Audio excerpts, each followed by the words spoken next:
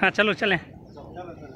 Hello guys हम लोग खराती घूमने आए थे, जो विलेज टूर का प्लान था, वो आज पूरा हो चुका हम बहुत दिनों से इसका वेट किए थे। बहुत अच्छा लग रहा है ये सब घूम कर देख कर जो बहुत अच्छा जलप्रपात है। हेलो गाइस आप लोग यहाँ घूमने के लिए आ सकते हैं। Thank you